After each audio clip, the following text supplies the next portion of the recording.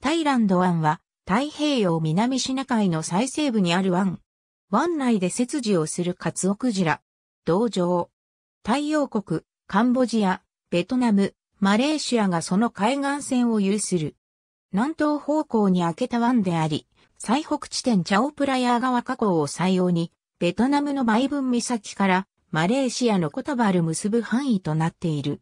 その面積は大雑把に32万平方キロメートルにも及ぶと言われる。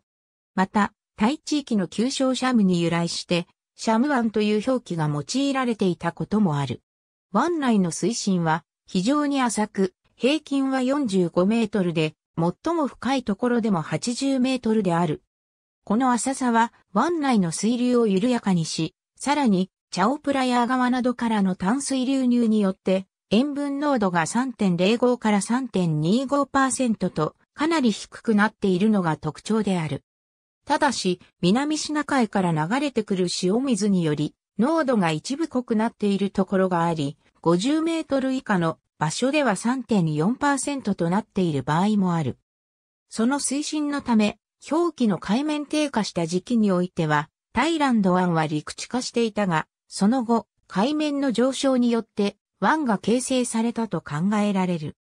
チャオプラヤーをはじめとする複数の河川が湾王に流れ込むことにより豊富な漁業資源が生息し、それらを餌とするカツオクジラ、ツノシマクジラ、シナウスイロイルカ、カーゴンドウ、スナメリ、ジュゴン、タイマイなどの貴重な海洋生物の住処にもなっている。特にカツオクジラは、ホエールウォッチングの対象になっている。鉱物資源として石油や天然ガスなどが産出される。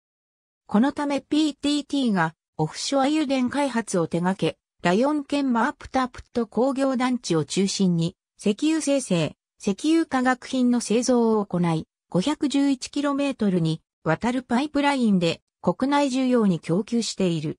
南洋であるため湾内の水温は高く、サンゴ礁が発生しやすいと言われている。